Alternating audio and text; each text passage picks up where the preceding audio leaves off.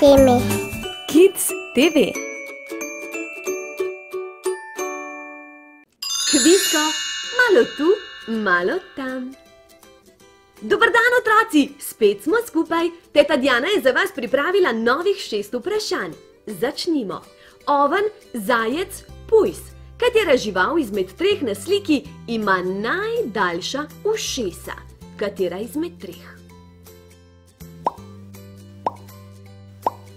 Zajec ima najdaljša ušesa, seveda, ima pa tudi mehko, gosto dlako, ki jo zamenja spomladi in jeseni. Od vseh čutil ima najbolj razvit sluh, to pomeni, da zelo dobro sliši. Tudi vidi odlično, po dnevi in po noči. Gremo naprej na drugo vprašanje. Žoga, srce, lubenica. Katera izmed treh stvari je okrogle oblike?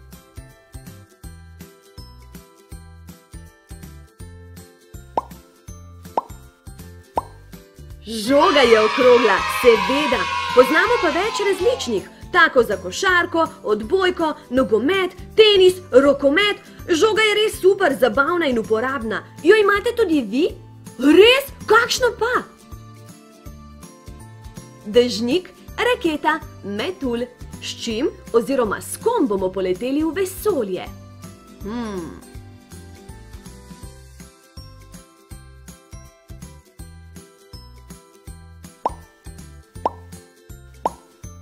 Z vesoljsko raketo, seveda!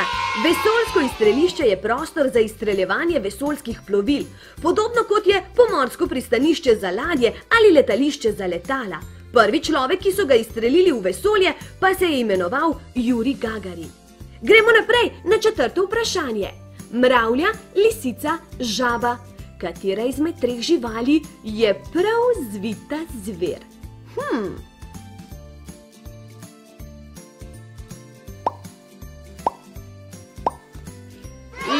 Lisička je prav zvita zver, pod skalco ima svoj kvartir, pa z repkom miglja, pa s krempli prasklja, pa vpraša, če lovec doma.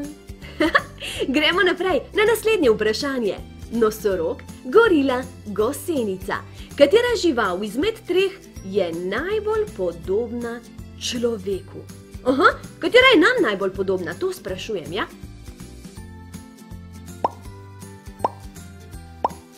Gorila, res je. Gorila je ena izmed najmočnejših živali, ki živi v odročnih predeljih afriške džungle. Rade jejo listje, semena, sadje. Gorile se gibajo bolj kot ne na tleh, mladički pa zelo radi plezajo po drevesih in se igrajo v drevesnih krošnjah. Gremo naprej na naslednje vprašanje. Policijski avto, čebela, vesoljsko plovilo. Kaj od treh stvari slik ne leti? Ste me dobro slišali? Kaj ne leti? Policijski avto ne leti, tako je. Ta ne leti, temveč se pelje po cesti. Ne pozabite, da policijo pokličemo na številko 113, če seveda potrebujemo njihovo pomoč. Kvisko, to je to. Dan, dan, dober dan, Diana tu in ti si tam. A poskusimo skupaj? Dan, dan, dober dan, jaz sem tu in ti si tam. Zdaj pa bi vam rada nekaj povedala. A vas zanima? Jo, veste, jaz imam doma poštni nabiralnik. Uh -huh. Kaj? Tudi vi imate poštni nabiralnik? Ja, kdo pa vam tja notri prinese stvari? Kdo? Poštar. A to je ta, a to je ta gospod, ki se včasih pripelje s kolesom, včasih se pripelje z motorjem, včasih pa z avtomobilom? Je to ta gospod, ki ima tako veliko torbo, polno pisem in včasih ima tudi čepico na glavi? Je to poštar? Je? Tudi mene je danes obiskal. -huh. Paketek mi je prinesel. Kako kakšen paketek? Tale paketek. Ja. Kaj, zakaj ga še nisem odprla? Veste zakaj? Ker, ko sem pogledala na, na, na škatlo, je pisalo Heidi.si. Jaz pa nisem Heidi. Kako je meni ime? Diana sem, tako je. In nisem bila prepričana, da je paketek sploh zame. Ja, lejte, piše, hajdi, pika si. Kakšna hajdi neki? No, potem sem pa razmišljala in sem razmišljala. In veste kaj? Moji prijateljici je ime Hajdi. Uh -huh. In najbrž mi je ona poslala paketek, ogromno igrač ima. Uh -huh. Ja, in tudi poje. Veste, kako lepo. Pesmico o kužku zagotovo poznate. Naš kuža je hodil sosedi v vas, ga psička vabila je vsak dan na glas, ob mraku koputke pospravil je spat, je točke si ščistil in šel vasovat. Mhm, točno ta Hajdi nam je poslala paketek in tudi pismo je tukaj za vse nas. Ne, nisem ga še prebrala. Tako sem vznemirjena, da sem čakala, da ga skupaj preberemo. Ne preganjajte me, no se bom prebrala. A preberem? Hm? Le kaj je napisala? Prav radovedna sem. Oh. Piše. Čiv, čiv, Diana, sem ti prav prikuvan paketek poslala. V njem osem kock se skriva, na vsaki od njih živalica igriva. Vesela sem, da pesmico o kušku si malčkom zapela, tako sem tudi jaz svoja otroška leta podoživela. Zdaj pa hitro otrokom razkriva, kaj točno se v Hajdinem paketku skriva. Oh, a pogledamo? No pa dajmo. Ha, evo jo, že prihaja mala kvadratna zelena škatla. Ampak kaj ni Hajdi rekla, da so notri kocke? Ja, tudi narisane so kocke, ja, vidim, vidim, ampak kako neki je notri spravila osem kock? No, dajmo odpreti paketek, pa po. Ah, seveda, eno v drugo je položila, zelo, zelo domiselno. Zdaj pa da vidimo, če zna Hajdi res šteti do osem. Bomo tudi mi preverili, kaj ne. Prešteli bomo kocke in obenem pogledali, kaj je narisano na njih. No, pa začnimo z najmanjšo. Ena, mali slonček. Na drugi kocki sta dve zebri. Na tretji kocki je hm, nekakšen meter. Na četrti kocki je glava od žirafe. Na peti kocki je glava od povodnega konja. Na šesti kocki je glava od krokodila. Na sedmi kocki spet nekakšen meter. In na osmi kocki glava od slona pa je res osem kock. Preštejmo še enkrat. Ena, dva, tri, štiri, pet, šest, sedem, osem. Ste šteli z mano? Jih je res osem? Seveda jih je osem. Hmm, kaj pa naj zdaj? O, aha, imam idejo. Tukaj je številka ena. Jo vsi poznate? En slonček, ki se igra z rdečo okroglo žogo. Poglejte, kakšen krasen rilček ima. E, e, kam pa gre? Slo... O, kam pa je šel zdaj slonček? Aha, prihaja številka dve. Uh -huh. In seveda dve zebri na drugi strani, dve progasti zebri. Živite v Afriki, a to vemo? Vemo, ne? Adijo, zebrici! In že je tu številka tri. Na njej pa mravlinčari, ki izgledajo precej nenavadno, imajo ogromen kosmat rep, dolgo trdo dlako in majhno glavo tulčaste oblike, v kateri se skriva dolg jezik, s katerim jejo mravljice. Že prihaja številka štiri. Pa poglejmo. O, ena, dve, tri, štiri, štiri žirafe. Največja je najbrž mamica in preostale tri žirafe, njeni otroci. Adijo, žirafice. Številka pet je naslednja. Uh mhm. -huh. Ena, dva, tri, štiri, pet. Pet povodnih konjev je na tej le kocki. Ste šteli z mano?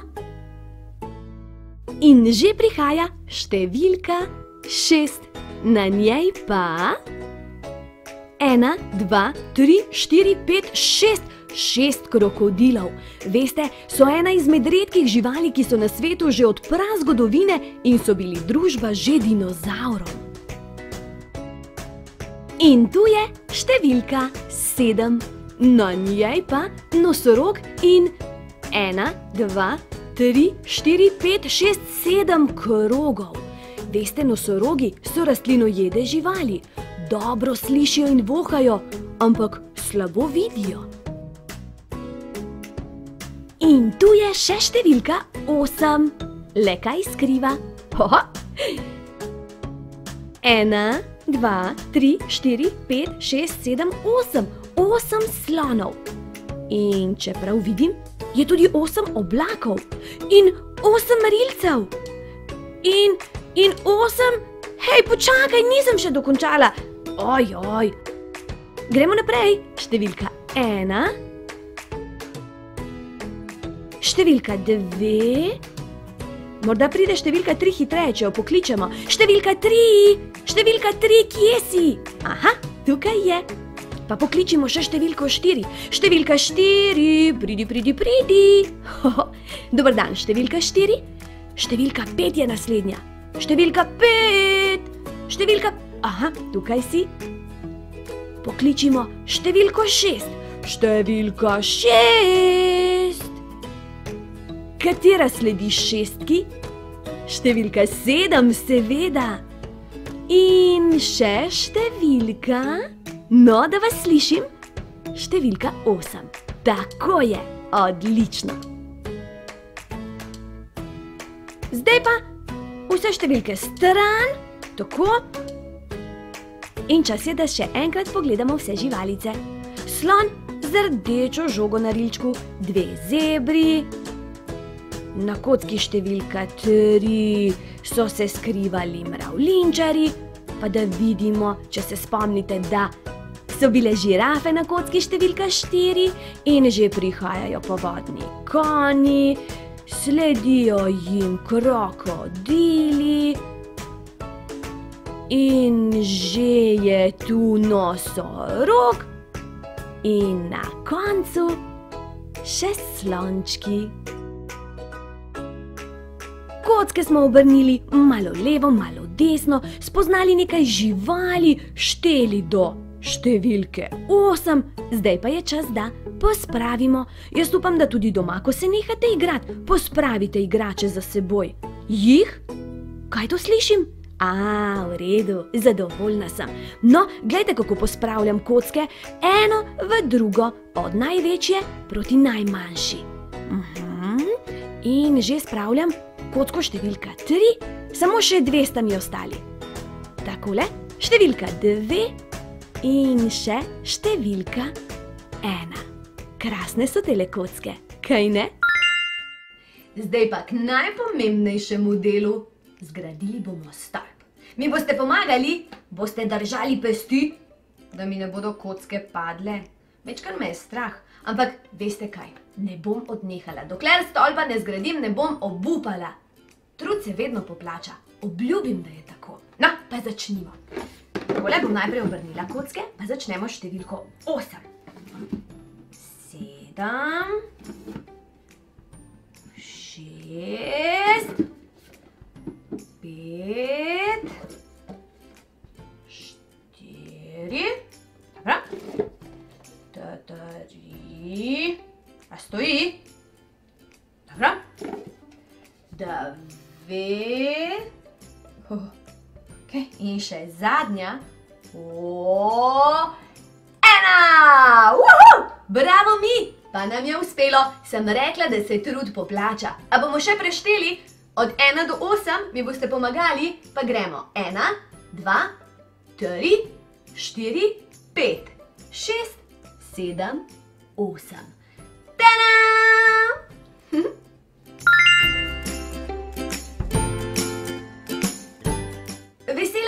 da smo danes skupaj šteli, da smo skupaj spoznavali živali in na koncu zgradili tale visok stolp.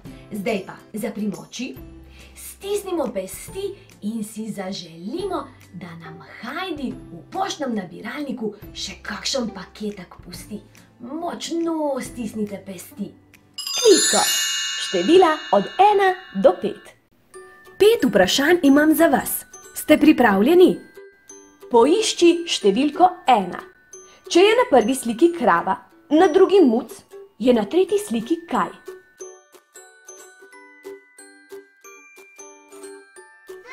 Tako je, številka ena. Poišči številko dva. Na drugi sliki sta dva pujsa, na tretji pa dve kokoši. Kaj je torej na prvi sliki? To je številka dva. Odlično!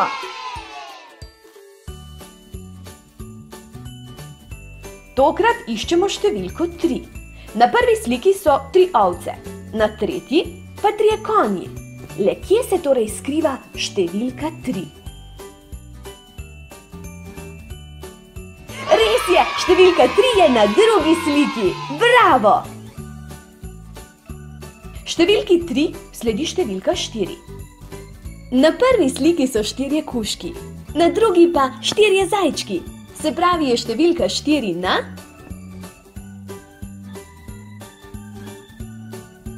Na tretji sliki, seveda. Iskanje števil ti gre super od ust. Če si se zmotil oziroma zmotila, nič hudega, naslednjič bo že lažje, kar pogumno in ustrajno. Še številko pet moramo poiskati. Na prvi sliki je pet piščančkov, na tretji pa pet ježkov. Kaj je torej na drugi sliki? Številka pet, seveda! Super si! Bravo! Preštejmo še enkrat skupaj od ena do pet. Ena, dva, tri, štiri, pet. Kvisko, to je to. Živijo otroci! Ste za, da danes spoznamo nekaj živali, ki živijo na kmetiji? Ste? Čisto za res? Potem pa predlagam, da gremo najprej v hlev. K kravi. Krava. Samcu rečemo bik. Mladiču pa tele. Krava nam da mleko. Krava muka mu. Pujs je zelo inteligenten, v telesni zgradbi podoben ljudem. Rad se valja v blatu, pujs kruli. Raca ima dobro razvit vid, sluh in okus. Je izvrstna letalka, se ne rada potaplja, raca gaga, ga, ga, ga, ga. Osel je zelo trmast, mrljiv delavec. Osel riga, i a, i a, kokoš. Kokoš nam da jajca. Samcu rečemo petelin, mladičku pa piščanček. Kokoš kokodaka, ko, ko, ko, ko, ko, ko. Kon. Samici rečemo kobila, mladičku pa žrebe. Kon razgeta. Ne, ne, ne, ne, ne, ne, ne, ne, ne, ne, ne. Ovca da nam mleko in valno. Samcu rečemo oven, mladiču pa jagnje. Ovca bleja. Ba, ba. Koza nam da mleko. Samcu rečemo kozov, mladičku pa kozliček. Koza me keče, me, me, me. Le katera žival z kmetije je vam najljubša? Je to konj, morda pujs, ovca? Meni recimo vse so mi pri srcu, ampak če bi morala zbrati eno, bi zagotovo zbrala ovčko. Rada imam belo barvo, pa všeč mi je, ker je taka puhasta, vse čas bi se lahko crkljala z njo. In če se želite tudi vi crkljati z nami, potem nikar ne pozabite pritisniti gumba subscribe in zvončka, ki je poleg, tako se lahko crkljate z nami kadarkoli in kjerkoli, popolnoma brezplačno. Okrogel razgiban je naš svet, unešteta baru je odet.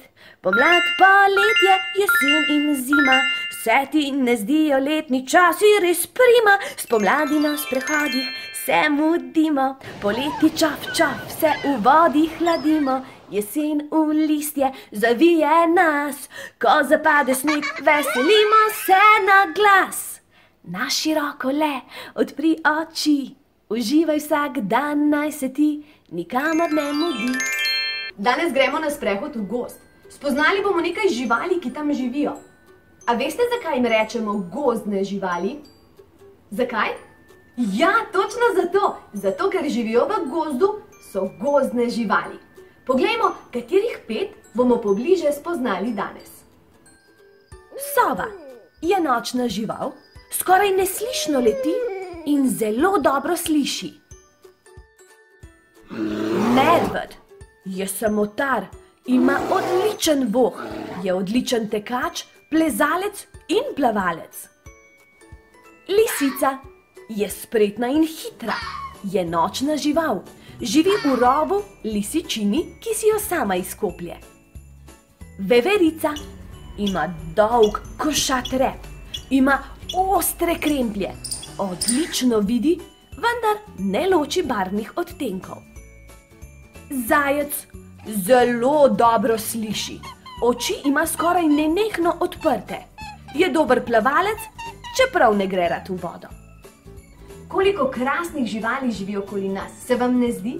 Ko boste naslednjič v gozdu, nikar ne pozabite, da morate biti čim bolj tiho, da ne ustrašite živali, ki tam živijo. Ne mečite smeti, da ne onesnažujete njihovih domov in rož ne trgajte, samo poduhajte jih. Na nebu se je prikradla luna. Hm. Kje pa je luna? Luna, kje si? Luna, prikaži se, mi bi radi pravljico poslušali. Luna, A, evo jo, Luna je tu, samo še zvezdice manjkajo. Jih skupaj pokličemo. Zvezdice, zvezdice. Ha, Luna je tu, zvezdice tudi, čas je za pravljico. Se še spomnite rožleta, tistega samoroga, ki je včasih zadovoljen, včasih ni zadovoljen. Včasih je jezen, včasih ga je strah, včasih pa je samo rogaca rožle žalosten. Vse to so čustva. Tudi rožle občuti vsa čustva, tako kot mi. Vas zanima, kako rožle prežene žalost? Potem dobro napnite ušesa in prisluhnite pravljici. Rožle ima nekaj čarobnega, to sta njegova griva in rep. Ko se počuti dobro, sta mauričnih barv. Vsako čustvo, ki ga prevzame, ima moč, da spremeni njuno barvo. Takšen je rožle, ko je zadovoljen, tako izgleda, ko je ljubosumen. Takšen je rožle, ko je jezen. Tule ima rožle slabo vest. Rožle je včasih sramežljiv, včasih prestrašen, včasih se kuja, sem pa tja je tudi žalosten. Kako se danes počuti rožle? Slabo. Rožle se danes počuti slabo. V njegovem srčku je vse temno in pojasnil nam bo, zakaj. Zakaj se rožle počuti slabo? Navadno je rožle živahen samorogec, ki se rad igra s prijateljema Makom in Nino. V vrtu se pogosto igrajo skupaj. Danes pa se rožle ne strinja s prijateljema. Mak in Nina se želita igrati zvezde metat, rožle pa bi se raje igral z žogo. Sprli so se. Mak in Nina se gresta zvezde metat, rožle je ostal sam z žogo. Rožle je že vse dan žalosten. Še zvečer razmišlja o prepiru s prijateljema in to ga vznemirja. Čuti žalost in otožnost. Veliko žalost, kakor da bi bil v njegovi glavi ogromen črn oblak, poln dežja. Namesto da bi čakali, da bo črn oblak počasi odplul, ga bomo raje odpihnili z nadzorovanim dihanjem. Ko začutiš, da se je oblak otožnosti naselil v tvoji glavi, ga lahko z dihanjem odpihneš. Rožle zapre oči, zamisli si velik črn oblak v svoji glavi. Vdihne skozi usta in napihne trebuh. Zadrži dih, s prsti se prime za nos in na vso moč misli na oblak. Močno pihne skozi nos in odpihne oblak otožnosti. Vajo ponovi še trikrat, potrebne so tri ponovitve, da prežene še zadnje dežne kaplje. Rožle začne mirno dihati. Zdaj, ko je iz glave odpihnil oblak, ga lahko nadomesti z žarečim soncem. Počuti se veliko bolje, prijetneje, ni več jezen na prijatelja. Vrnila se je dobra volja in njegova griva in rep sta spet mavričnih barv. Tudi ti se, ko nadomestiš oblak s soncem, počutiš olajšano, svobodno. Na tvojem obrazu se spet prikaže nasmeh.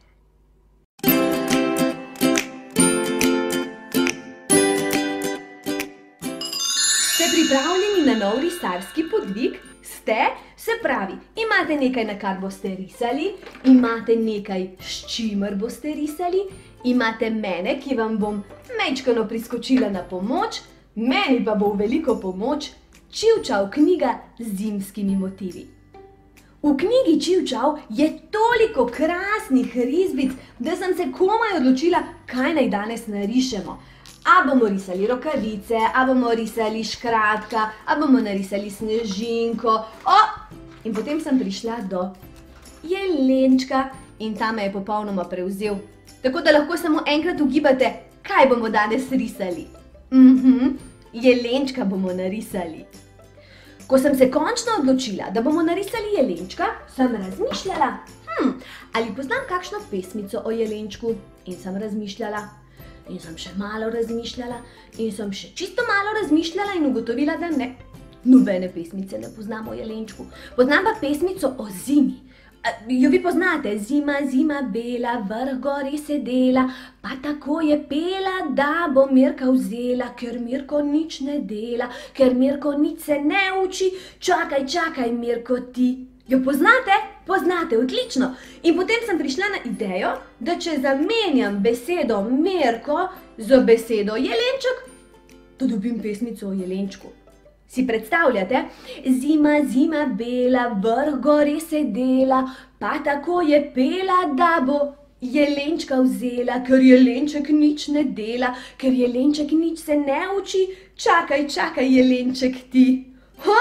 Se vam ne zdi dobra ideja? Samo imeni smo zamenjali, pa smo dobili čisto novo pesmico o jelenčku. Novo pesmico smo dobili, zdaj pa potrebujemo še risbico.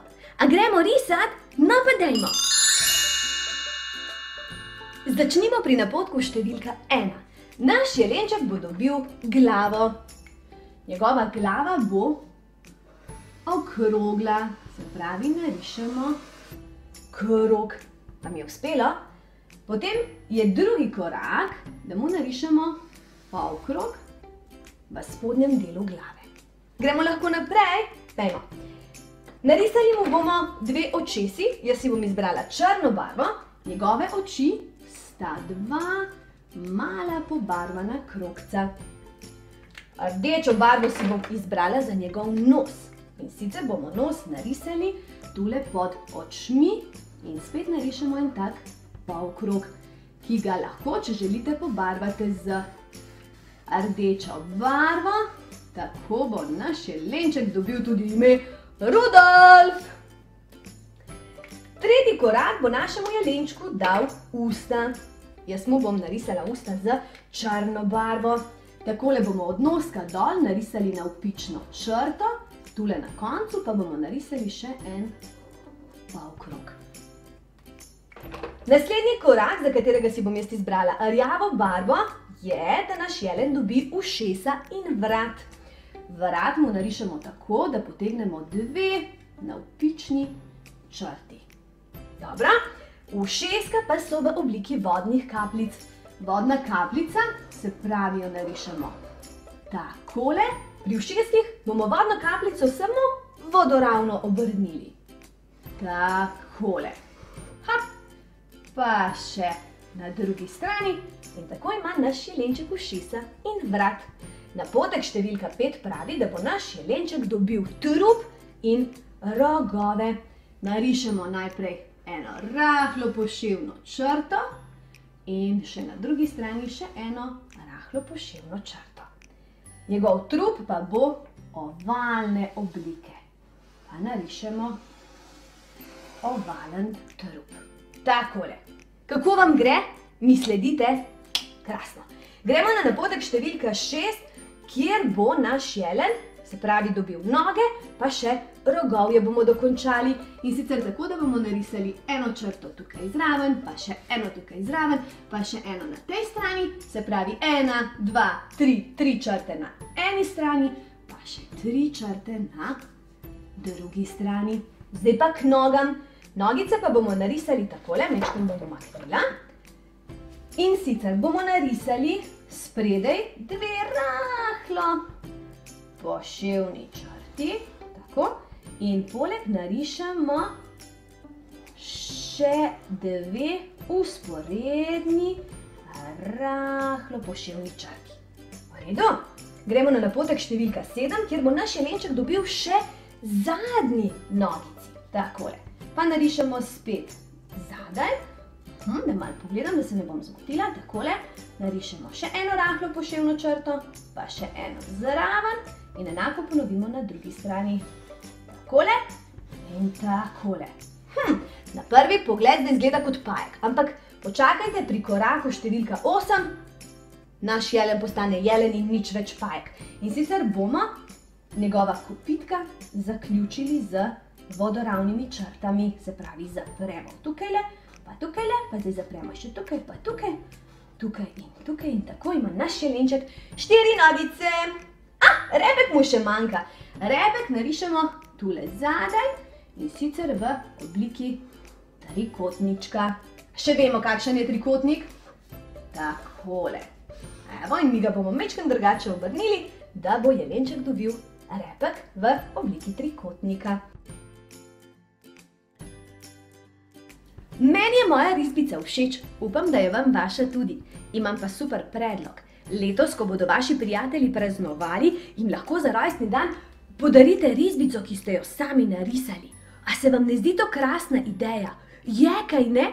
Zdaj pa takole. Če se želite z nami še družiti, potem nikar ne pozabite pritisniti gumba subscribe in zvončka, ki je poleg, tako se lahko družimo še in še na Timi Kids TV. Abu škatla! Otroci, abu škatla me je danes presenetila tako, da ni več pravokotna in rjave barve in majhna, ampak je velika, kvadratne oblike, z modrim pokrovom, z modrimi pikami. Ampak kljub temu, da je drugačna, je še vedno polna presenečenj. Jaz še vedno ne vem, kaj se skriva notri. Kaj pa vi? Vi veste, kaj se skriva notri?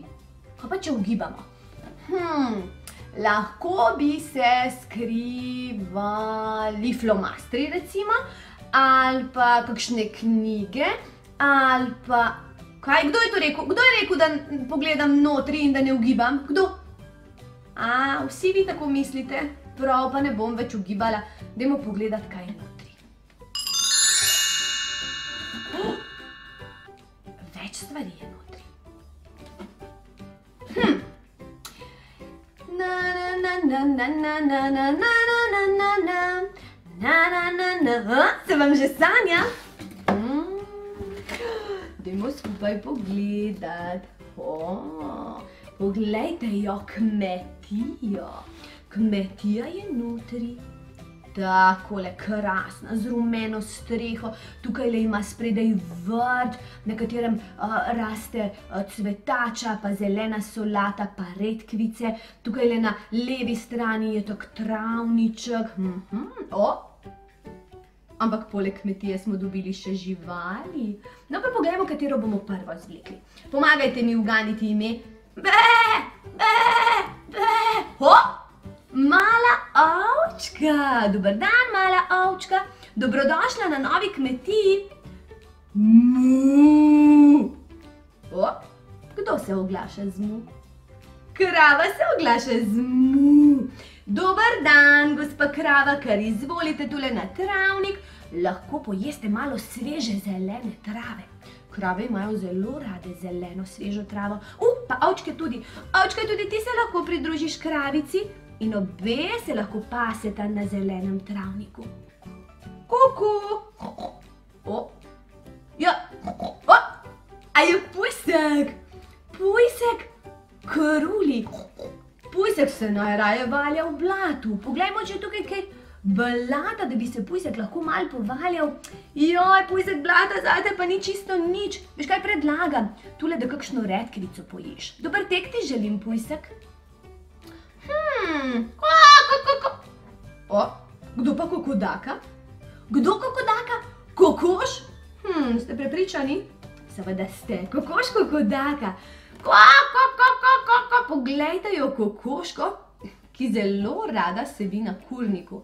Ampak tukaj le tale kmetije, a ima tukaj le zadaj, večkam bom umaknila pujska, pa ovco, pa kravo, da vam pokažem še kurnik. Poglejte ga, tukaj je kurnik, kjer so tudi mali pi, pi, pi, pi, pi, piščančki. Tako bomo poleg kurnika posedli kokoško. Kaj pa kokoška vali v kurniku? Jajca, tako jajca vali kokoška v kurniku. Gremo pogledat, katere živali se še skrivajo v abuškatli. Ga, ga, ga, ga, ga, ga. O, gospa Račka, dober dan. Ga, ga, ga, ga. A Račka Gaga? Mhm, Račka Gaga. Račka, komu boš pa ti družbo delala? Tukaj le, tukaj le pri kokoški boš sedela. V redu, zmenjeno. Uf, uf, uf. Še hišni ljubljenček kuža se oglaša. Uf, uf, uf, uf, uf. Uh, kuža kar izvoli. Uh, tule zadaj je še pasja uta. Kdo živi v pasji uti? Kuža, seveda se že samo ime pasja uta nam pove, da je v bistvu kuža tisti, ki živi v njej. Takole. Evo ga, kužku smo dali dom. Ampak za te živalice mora nekdo skrbeti. Kdo običajno skrbi za živali na kmetiji? Gospod kmet, tako je. Dobar dan, gospod kmet, poglejte ga, uh, s kakšnim krasnim klobukom se sprehaja po kmetiji. Ampak kmet skrbi sicer za živali, v čem pa se kmet rad vozi? V traktorju, pa da vidim, če je slučajno. O, ja, slučajno je notri tudi traktor rdeče barve za našega starega kmeta. Tako na kmetiji starega kmeta prebivajo krava, ovca, pujs, kokoš, raca in njegov ljubljenček kuža.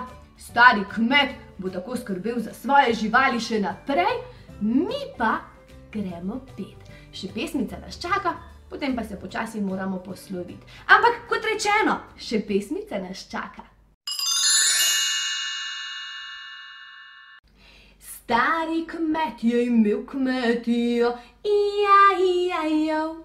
In na kmetiji kravo, ija, ija, jo. Je rekla mu, mu tu, mu, mu tam, mu tu, mu tam, mu povsod. Stari kmet je imel kmetijo, ija, ija, jo.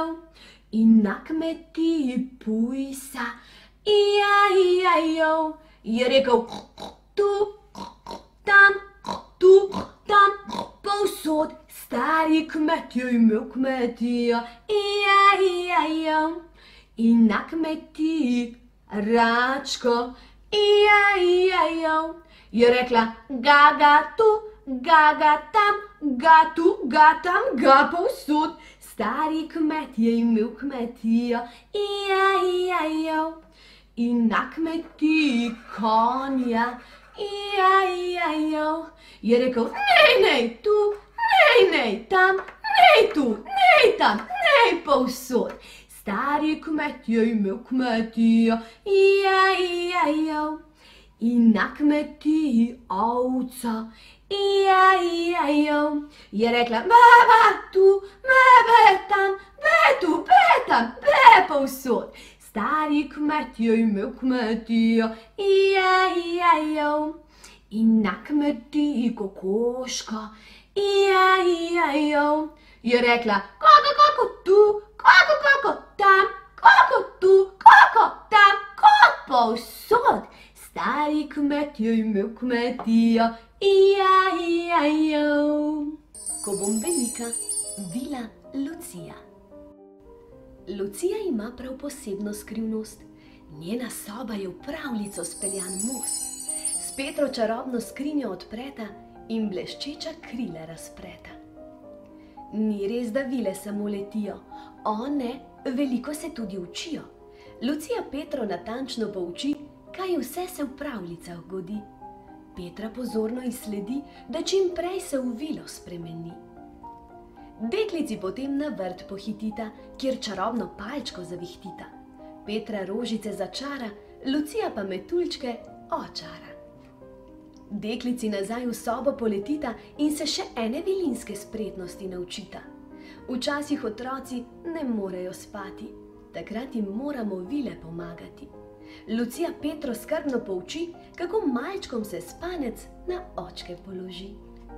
Ko Petra vilinsko opravo pospravi, se vili Luciji kot čarodejka predstavi. Bratcu Maju pravljice pripoveduje in ga za čarobni svet navdušuje.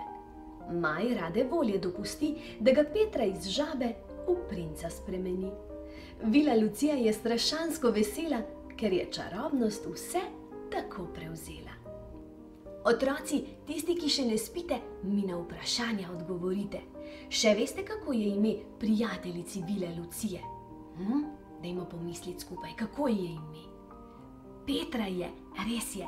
V koga se Petra spremeni na koncu knjige? Hm? Kdo Petra postane na koncu? Čarodejka, res je, čarodejka postane. Še zadnje vprašanje za vas. Ste si zapomnili, kako je ime Petrinemu bratcu? Kako?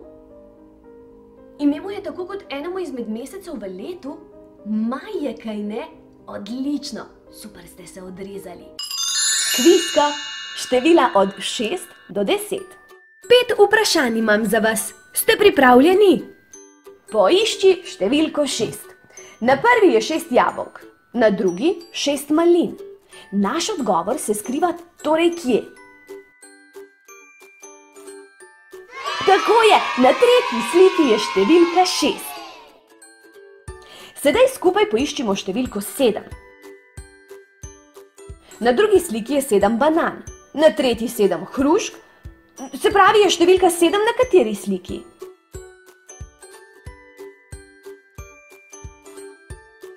Odlično, na prvi sliki je številka 7. Naslednja, ki jo iščemo, je številka 8.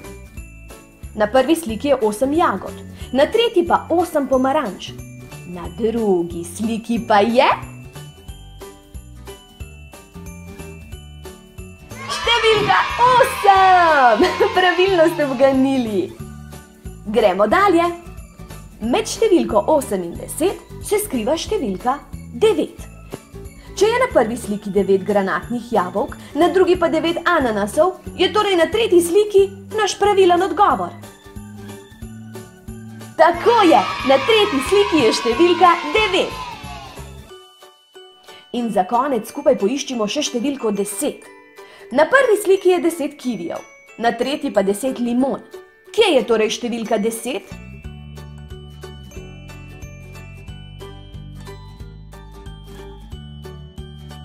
Drži, na drugi sliki je številka 10. Danes smo se torej naučili števila od 6 do 10. Preštejmo skupaj. 6, 7, 8, 9, 10. Kvisko, to je to. Na severu živi ogromno veličastnih živali, od orjaških medvedov do velikanskih losov, pa vse do čisto majhnih mišk. V tamkajšnjih morjih pa plavajo pravi morski velikani. Vas zanima, katerih pet živali z severa spoznamo danes? Vas? Poglejmo skupaj.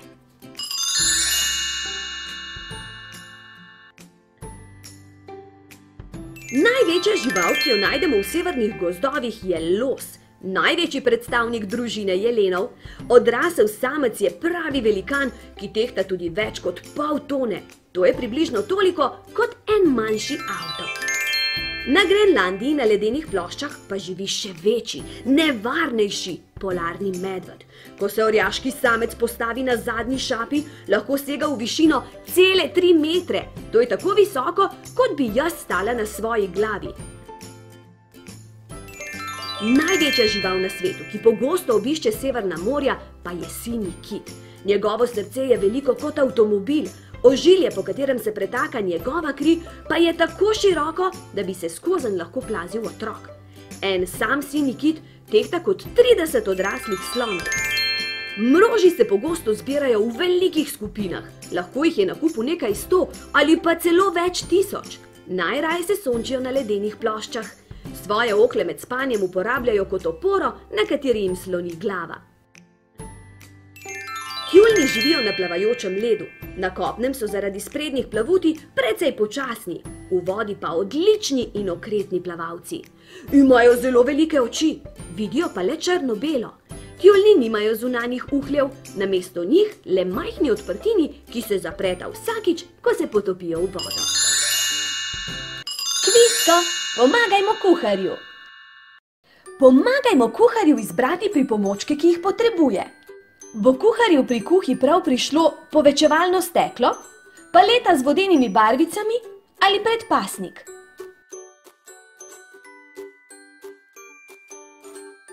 Predpasnik je pravilen odgovor. Z njim bo kuhar zaščitil svoja oblačila pred umazanijo.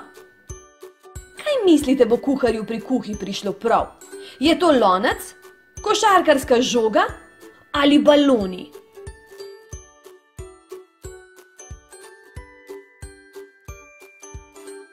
V loncu lahko kuhar skuha juho, testenine, golaž in še in še in še. V kuhinji kuhar zagotovo potrebuje tudi trikotno ravnilo, kuhinjske pripomočke ali čopič.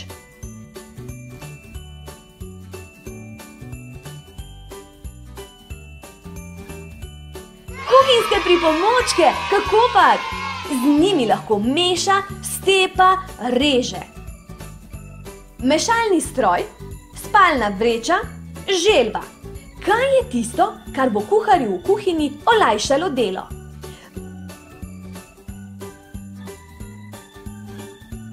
Mešalni stroj, res je! Kuhar bo z njegovo pomočjo privrčeval čas in takrat postoril kaj drugega. Kocke, valjar, tobogan. Še zadnje vprašanje. Dobro premislite, preden izberete. Valjar je pravilen odgovor! Odlično! Z valjarjem bo kuhar lahko zvaljal testo. Kvisko, to je to. Na nebo se je že prikradla luna. Tudi zvezdice ji delajo družbo. To pomeni, da je čas za pravljico. Uh -huh. Rožle nam bo delal družbo. Rožle je samorok, podoben vsem drugim. Hm, ali pa tudi ne. Veste, rožle je včasih zadovoljen, včasih ni zadovoljen. Rožle je včasih žalosten, včasih ga je strah. Včasih pa je rožle jezen. Vse to so čustva. -huh. Tudi rožle občuti vsa čustva, tako kot mi. Danes nas nauči, kako preženemo jezo. Vas zanima? Potem dobro prisluhnite pravljici. Rožle ima nekaj čarobnega.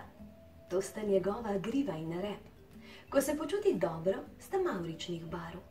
Vsako čustvo, ki ga prevzame, ima moč, da spremeni njuno barvo. Kako se danes počuti rožle? Zelo slabo. Rožle se počuti zelo slabo. V njegovem srčku je vse črno in pojasnil nam bo, zakaj. Zakaj se rožle počuti slabo? Navadno vse teče gladko in počasi. Nebo je brez oblačka. Doma ali v vrtcu se rožle mirno igra. So pa tudi dnevi, ko nič ne gre tako, kot bi si želel. Včasih ga to resnično ujezi.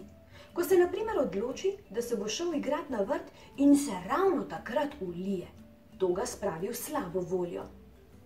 Ujezi ga tudi, kadar mora v vrtec peš, njemu pa ni do hoje. Rožle se razjezi, če ga očka noče nositi. Ujezi se tudi, ko ga mamica pokliče, ker je čas za kopanje, njemu pa ni do kopanja. In ko mora iz vode, on pa bi se še igral v kadi, ga spet popade jeza. Ko se odloči, da bo naredil kakšno stvar, kakor jo naredijo odrasli, in mu to ne uspe, se zelo razhudi. Včasih celo cepeta ali se vrže na tla. Občuti neizmerno jezo. Zelo hudo jezo. kakor da bi imel v glavi velik črn oblak, iz katerega švigajo strele. Ni treba čakati, da oblak počasi odpluje stran. Raje ga odpihnimo z nadzorovanim dihanjem. Tudi ti, ko začutiš, da se je oblak jeze naselil v tvoji glavi, ga lahko odpihneš. Rožle zapre oči in si predstavlja velik črn oblak, ki se je naselil v njegovi glavi. Vdihne skozi nos in močno napihne trebuh. Roke spusti ob telesu in stisne pesti. Zadrži dih, večkrat hitro dvigne in spusti ramena, kot bi hotel prečrpati vso jezo iz trebuha v oblak. Močno pihne zrak skozi usta ter spusti ramena in roke ob telesu. Tako odpihne oblak jeze. Rožleto vajo ponovi še trikrat. Potrebne so tri ponovitve, da prežene še zadnje strele. Začne umerjeno dihati, zdaj, ko je oblak odpihnil iz glave, ga lahko nadomesti z žarečim soncem. Počuti se veliko bolje, umirjeno, spet je dobre volje in njegova griva in rep sta mauričnih barv. Ko se bodo znova dogajale stvari, ki mu ne bodo po volji, ga to ne bo vznevolilo. Zdaj zna ostati miren. Tudi ti se, ko nadomestiš oblak s soncem, počutiš sproščeno in pomirjeno. Nasmeh se ti vrne na obraz. Živijo otroci, danes se iz naših stanovanj selimo na kmetijo. Spoznali bomo nekaj živali, ki tam živijo. Ste že radovedni, katere živali? Potem bom pa nehala govoriti, pa si jih pogledamo. Krava, samcu rečemo bik, mladiču pa tele. Krava nam da mleko, krava muka, mu. Pujs je zelo inteligenten, v telesni zgradbi podoben ljudem. Rad se valja v blatu, pujs kruli.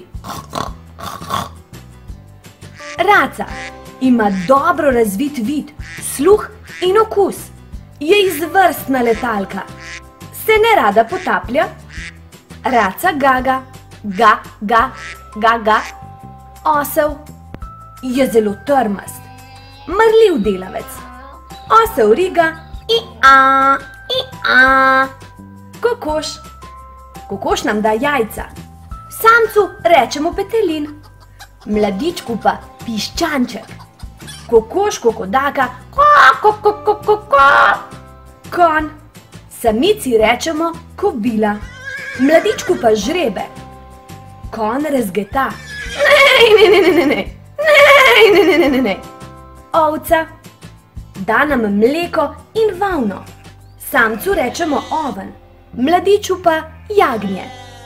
Ovca bleja, ba, ba. Koza nam da mleko.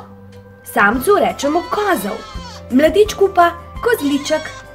Koza me keče, me, me, me. Kakšna krasna druščina živi na kmetiji. Si predstavljate, da bi se lahko tudi mi, tako kot pujsi, vse dan valjali po blatu? To bi bile mamice vesele. no, kakorkoli, če se zabavate z nami, potem nikar ne pozabite pritisniti gumba subscribe in zvončka, ki je poleg, tako se lahko družite z nami, kadarkoli in kjerkoli popolnoma brezplačno. Kvisko, živali. Dober dan, otroci. Pet vprašanj imam za vas. Ste pripravljeni? Sova, tiger, povodni kon.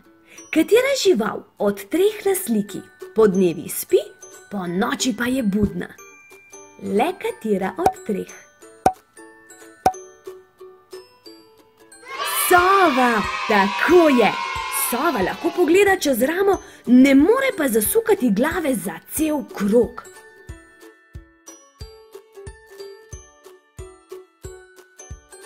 Lisica, opica, panda. Katera žival od treh na sliki rada je bambusove liste? Katera od treh?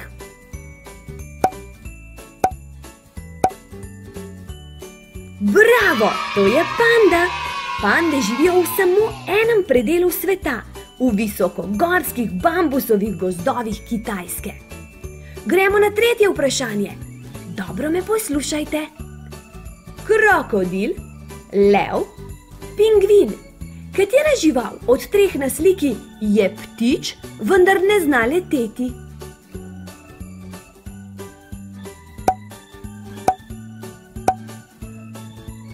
Pingvin! Odgovor je pravilen. Pingvini živijo na Antarktiki, po snegu in ledu hodijo precej okorno, so pa zato toliko bolj okretni v mrzli morski vodi. Medved, rakun, ovca.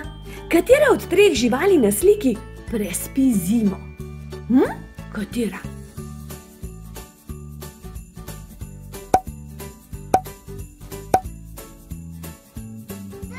Medved! Rjavi medvedi živijo v gozdu, radi plavajo v rekah in lovijo ribe. In kot rečeno, celo zimo prespijo. Še zadnje vprašanje. Raca, slon, pujs. Katera žival od treh na sliki ima največja ušesa?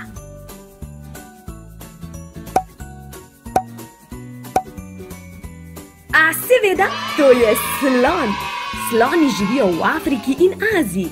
Navadno se gibljajo v skupinah, ki jim rečemo črede.